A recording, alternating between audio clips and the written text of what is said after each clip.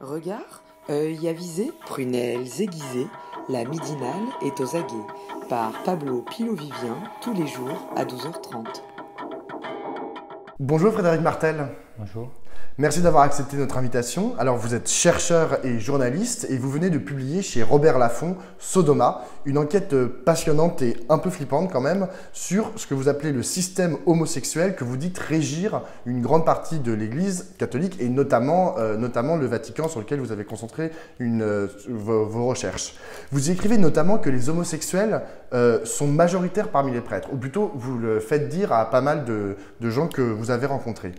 Mais est-ce que c'est vraiment vrai? Parce que vous nous racontez ça par le menu, par des récits, par de nombreux récits d'ailleurs, et c'est très bien documenté.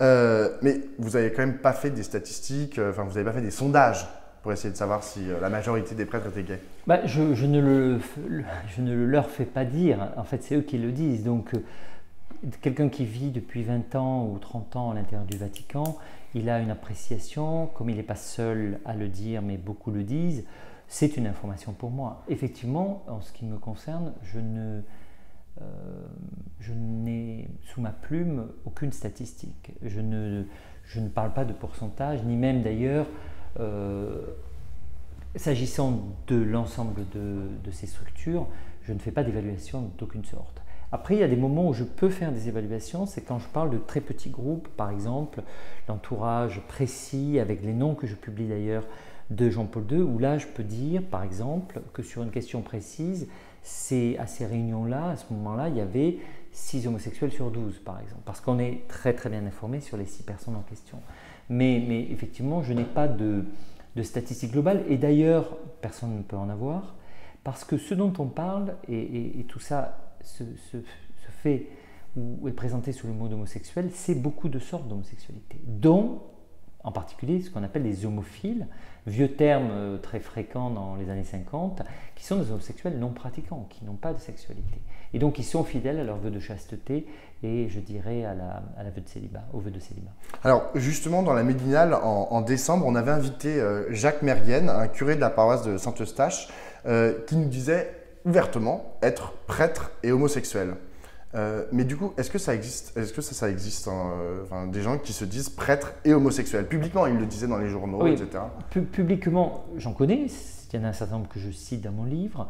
Euh, mais off the record, énormément de gens me le disent. Beaucoup de prêtres que j'ai interviewés, et notamment les 27 sources principales de ce livre, qui tous sont, travaillent ou vivent à l'intérieur du Vatican, sont explicitement, je dirais, entre guillemets, parce que c'est toujours un petit peu compliqué, euh, explicitement homosexuel avec moi. Donc euh, ils, euh, ne se cachent pas dès lors qu'ils savent, et je l'ai respecté, que je maintiendrai le, off et que je ne les citerai pas. Et sur les 27, je crois qu'il y en a un seul ou deux qui sont cités avec leur accord et sur des faits très précis.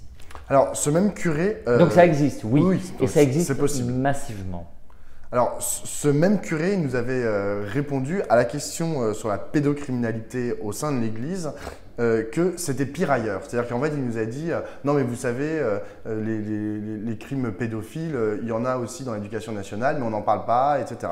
et dans les salles de sport. Est-ce que c'est ça le, problème de l'Église catholique aujourd'hui? C'est son aveuglement absolu alors moi, je n'ai pas fait un livre sur les abus sexuels. je n'ai pas...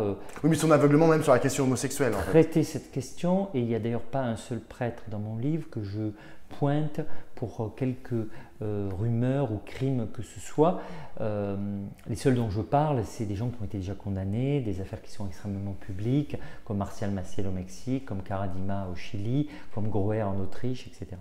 Donc moi, je ne suis pas sur ce sujet. Par contre, effectivement, je pense qu'une des clés de ces affaires, c'est ce que c'est le cover-up, c'est-à-dire la l'omerta. L'omerta, mais plus, plus, plus, fortement encore, une culture du secret extrêmement profonde et qui a notamment, parmi d'autres secrets, l'homosexualité très massive d'un certain nombre de prêtres, d'évêques et de cardinaux au Vatican. Et ce qui s'est passé, c'est qu'un certain nombre d'abus sexuels ont été protégés par cette culture-là, alors même que les gens voulaient juste cacher leur homosexualité, mais avaient peur que celle-ci puisse être révélée en cas de procès, de médiatisation, ou je dirais, euh, ben, voire même parfois de, chantage. Je pense que beaucoup des évêques qui ont couvert ces abus sexuels sont eux-mêmes homosexuels. Et on a donc une clé, c'est triste à dire, il faut être extrêmement prudent sur ça, parce que bien sûr il n'y a aucun lien entre homosexualité et abus sexuels, mais dans l'Église, il se trouve que 80% des cas sont sur des hommes majeurs, souvent des séminaristes, ou sur des garçons mineurs. Et donc il y a une particularité propre à l'Église catholique qui ne cesse de, poser problème. Et surtout, euh, les prêtres eux-mêmes ne se rendent pas compte du système dans lequel euh, ils sont eux-mêmes aveuglés en effet.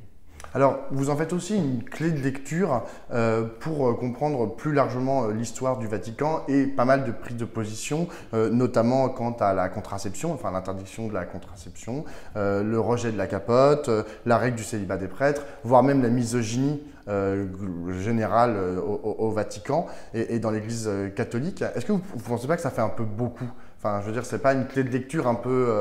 Alors, d'abord, je pense profondément et sincèrement que je suis en dessous de la réalité. Il y a énormément de choses que je ne peux pas écrire et il y a aussi des choses que je ne sais pas. Quand vous faites ce genre de livre, vous savez dès le départ qu'il y a des choses que vous ne pourrez pas dire, même si vous en êtes certain. Et je suis certain pour, lorsque sur beaucoup de cardinaux, j'ai des gens qui ont couché avec eux, j'ai des gens qui ont été dragués très sévèrement parfois par eux. Donc nous avons des preuves claires, avec des témoins qui seraient même prêts à témoigner. Mais je ne le je ne les oute pas parce que c'est pour des raisons politiques, mais aussi pour des raisons juridiques, mais même pour des raisons morales. Je pense qu'il n'est pas juste de outer un cardinal vivant. Mais on, a ces informations. Donc je pense que je suis globalement en dessous de la réalité, ne, serait-ce que par rapport à ce que j'ai le droit d'écrire. Plus fondamentalement, je pense que c'est un terrain à explorer. Jusqu'à quel point l'homosexualité de nombreux cardinaux, peut-être de certains papes, a eu un impact sur la doctrine, ça reste une démonstration à faire. C'est d'ailleurs pas mon sujet. Je pense malgré tout, quand je je parle avec ces prêtres euh, régulièrement depuis quatre années, je les fréquente, je dîne avec eux. J'observe qu'ils sont obsédés et c'est les plus grands défenseurs du célibat des prêtres. J'observe que ce sont eux qui parlent le plus d'abstinence. Je, les trouve très très misogynes. Je constate aussi que sur le préservatif, ils ont une position très radicale.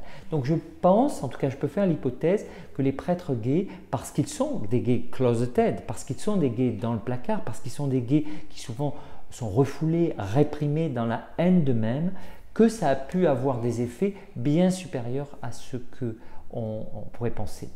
Une preuve toute simple sur ça, c'est que quand on est face à François, qui est probablement pas concerné par la question homosexuelle, on s'aperçoit qu'il n'a pas de problème avec le préservatif. Il l'a dit d'ailleurs. Au fond, il, il était prêt à faire évoluer le discours de l'Église et sa doctrine même sur pas encore le célibat, en tout cas sur les couples divorcés et d'autres points. Donc si lui, qui est pape, est capable de faire évoluer les choses, euh, ça aurait pu changer. La position sur le préservatif aurait pu être différente sous Jean-Paul II. On aurait pu dire, ok, on n'est pas très favorable au préservatif, mais compte tenu des risques et du nombre de morts, il vaut mieux quelque chose qui protège la vie plutôt que quelque chose qui donne la mort. Mais ça n'a pas été choisi. Est-ce que l'homosexualité et l'homosexualisation très majeure des entourages de Jean-Paul II, de Benoît XVI et de Paul VI a joué un rôle, c'est une hypothèse qu'on ne peut pas exclure. Alors, ce qui est étonnant, c'est que là encore, et dans votre ouvrage, euh, vous décrivez une église où l'homosexualité est une sorte de, norme, en fait. Et euh, alors, c'est une norme cachée, mais c'est une norme. Euh, alors même que l'église passe son temps à essayer d'imposer, en fait, à, ses ouailles une, autre norme, une norme même qui est complètement différente. Comment vous expliquez ce paradoxe? Bah, Paradoxalement, les gens disent qu'il y a une contradiction. En fait, non. Les deux choses sont liées. C'est parce que vous êtes homosexuel caché, placardisé dans, la, dans le refoulement et la sublimation que vous êtes très homophobe. Et donc, en fait, c'est même une des clés, je dirais presque, on reconnaît la possibilité la probabilité de l'homosexualité lorsque quelqu'un est extrêmement homophobe. Je ne parle pas d'un prêtre qui dirait, vous savez, nous on n'est pas très favorable au mariage. c'est quelque chose de compréhensible. Ça peut ne pas être notre position, mais ils ont le droit d'avoir la leur. Je ne parle pas de ça. Je parle de ces cardinaux, de ces évêques qui sont obsédés, qui ont fait une guerre, qui ont eu des propos complètement délirants en parlant euh, de zoophilie pour les gens qui allaient se marier. Des gens qui constamment confondent des relations entre deux hommes majeurs et consentants ou deux femmes et qui confondent quelque chose qui est de l'ordre de l'abus, quelque chose de la zoophilie ou quelque chose qui est de l'ordre de, de la pédophilie. Et là, je pense que ces cardinaux, ces évêques, ces prêtres, même français, nous disent au fond qu'ils ont un problème avec l'homosexualité qui est sans doute un indicateur très probable d'une homosexualité ou à tout le moins d'une homophilie, d'une homophilie sublimée. Alors, vous parlez essentiellement de faits et d'hommes euh, du XXe siècle, euh, mais du coup, euh, l'homosexualité dans l'Église, vous pensez qu'elle est apparue à cette époque-là, c'est-à-dire au XXe siècle, ou que ça a toujours été le cas et qu'il y a une homosexualité, enfin, c'est quelque chose d'inhérent en fait à l'Église moi, je ne suis pas historien, donc je n'ai pas hmm. remonté. Je me suis intéressé au fond aux papes sous lesquels j'ai vécu, c'est-à-dire depuis une cinquantaine d'années. Et pour lesquels vous avez des témoins. Et, et, pour lesquels on a des témoins, puisque moi je travaille sur témoignages, pas du tout sur archives, surtout sur ce sujet, ce serait difficile. Ce que je, je crois qui est important, à mon avis, l'homosexualité est très ancienne dans l'Église à cause du célibat et au fait aussi pour une raison qu'on ne comprend pas quand on est en 2019, c'est que l'Église a été un refuge pour les homosexuels depuis très longtemps. C'était un safe place, c'était un endroit où au fond, euh, ils peuvent être homophobes à l'extérieur, mais à l'intérieur, les choses étaient beaucoup plus simples. Ce qui change... Précisément par le secret. À cause du secret, mais aussi à cause de, tout simplement d'une sélection. L'Église sélectionne les homosexuels, elle les promeut, elle les attire, c'est ça la clé. Mais ce qui, me semble-t-il plus important, c'est qu'il y a quelque chose qui va changer fortement sous Paul VI. Avant Paul VI, au fond, l'homosexualité est partout un délit sinon un crime. Donc il n'y a pas tellement de différence entre l'intérieur et l'extérieur de l'Église. au fond, on a un secret, c'est un refuge, mais l'homosexualité est partout un délit. À partir de Paul VI, et je dirais surtout après 69, dans les années 70 et encore plus dans les années 80, l'homosexualité va être acceptée, tolérée, elle va même devenir visible, les, homosexuels vont être fiers, la gay pride, le gay friendly, le coming out, et l'Église se retrouve totalement d'une sorte de déphasage grave parce que son homosexualité intérieure risque d'être connue. Et donc elle va renforcer un discours homophobe au moment même où la société, elle, se libère. Et du coup, ça crée un gouffre immense qui est un piège dans lequel aujourd'hui elle est... Euh, elle est complètement piégée et elle n'a plus de solution euh, sauf à, comment dire, changer sa doctrine, ce qu'elle n'est pas prête à faire. Alors, il y a deux mondes, enfin deux sphères très importantes de l'Église, et même au Vatican, dont vous ne parlez pas dans votre, ouvrage. C'est celui d'une part des religieuses, des femmes qui sont dans l'Église catholique, et d'autre part des, fidèles. Euh, est-ce que là, il y a aussi un problème homosexuel ou pas du tout? Il y a des religieuses Alors, C'est pas un livre effectivement sur les catholiques, qui d'ailleurs n'ont pas de raison d'être plus euh, homosexuels que les autres. Euh, donc, je, ne traite pas ce sujet et je ne traite pas non plus le lesbianisme dans, je dirais, les, les couvents j'ai les bonnes sœurs parce que je n'ai pas les codes et je ne peux pas pénétrer ce monde. J'ai un petit peu essayé, mais pour le coup, l'impossibilité pour un homme qui plus est homosexuel d'entrer dans ce monde-là est totale. Et donc je suis obligé de... Je fais l'hypothèse que c'est un prisme aussi important que l'homosexualité dans le clergé euh, masculin, mais j'en ai ni les preuves ni, ni, ni, travaillé dans ce secteur-là. À, quoi vous pensez que va servir votre, euh, votre bouquin? Est-ce que vous pensez que ça va changer quelque chose, qu'ils vont modifier les règles de la curie, qu'ils vont faire un, un, petit nettoyage en disant bon bah là les gens que vous outez, ou genre, bah, du coup, la présomption d'homosexualité va être plus forte entre les prélats et on va se dire, bon, allez, ceux-là, on va les. Euh, encore une fois, je ne, je ne oute pas de prêtres, d'évêques ou de cardinaux oui, du coup, non, mais vous... vivants. Euh, je le fais. Vous faites monter euh, la suspicion quand même. Oui, enfin plus précisément, je pars de faits. Quand quelqu'un me reçoit et me dit un certain nombre de choses, ce sont des faits. Il me dit les choses, il, me montre des choses, il a tel type de robe longue, etc. Et je décris ces éléments-là. La suspicion, c'est le lecteur ou pas qui, les, qui, les, aura. Et je suis persuadé que un certain nombre de gens dont je parle ne sont pas du tout homosexuels. Donc chacun en fera la lecture qu'il veut. Euh, par contre, moi, je suis typiquement du, français laïque, euh, je dirais qui n'est pas anticlérical, mais qui est euh, pas catholique et qui, du coup, défend la laïcité française. Et, pour moi, Euh, on a le droit de parler de l'Église. Euh, en plus, je le fais, je pense, de manière pas blasphématoire, pas caricaturale, en ayant passé beaucoup de temps et travaillé mon sujet. Donc, je pense que l'Église ne peut pas être, euh, se fermer dans ce secret. Et c'est normal que des journalistes, des écrivains comme moi fassent ce, ce, travail et révèlent cette part d'ombre et ce secret qui est quand même l'un des plus gros secrets des 50 dernières années. Et évidemment, je suis très attaqué par les blogs euh, identitaires, réactionnaires, l'extrême droite conservatrice catholique américaine qui est très violente sur ce livre, même si par ailleurs on rentre dans la liste des best-sellers du New York Times la semaine prochaine, preuve qu'il euh, y a quand même une attraction pour ce genre de livre, une, attirance, et qu'il a séduit un certain nombre de publics, y compris catholiques. Mais voilà, c'est un Français a le droit de faire ce type d'études. Je sais que ce serait difficile pour un vaticaniste, impossible même. Je sais que ce serait plus difficile pour un Italien. Je pense qu'un hétérosexuel journaliste qui n'aurait pas les codes aurait du mal à raconter cette histoire, mais ça fait partie.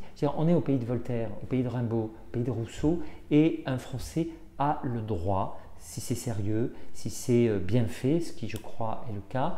Il y a 300 pages de sources qui vont être publiés dans quelques jours, ce qui fait plus de 2000 peut-être articles de référence sur tous les sujets dont je parle.